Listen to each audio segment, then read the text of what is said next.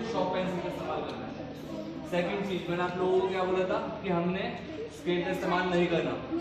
ठीक है? तो उसके लिए हमें डेली प्रैक्टिस करनी है। डेली मीन्स जब भी आपको मन करे तो आप लाइनों की प्रैक्टिस करेंगे ऐसे।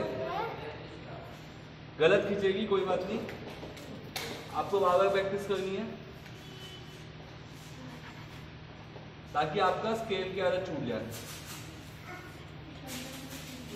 एक लाइन गलत होगी, कोई बात नहीं दूसरी लाइन खींचो तीसरी लाइन खींचो खींचो और पूरी शीट पे प्रैक्टिस करनी है आपने।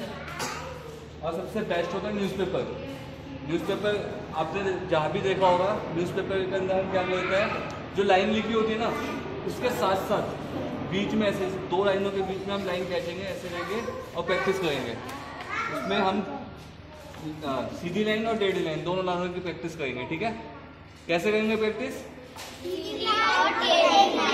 वो तो ठीक है, लेकिन कैसे कहेंगे न्यूज़ पेपर न्यूज़पेपर न्यूज़पेपर पे आपने देखा होगा जब एक लाइन लिखी होती है, उसके बाद नीचे दूसरी लाइन लिखी होती है। उन दोनों लाइनों के बीच का जो गैप होता है, हमें वहाँ पे वहाँ पे प्रैक्टिस करनी है, इस तरीके से। ठीक है? एंड कितने बच्चे सर्कल बनाने के लिए प्रकार और उसका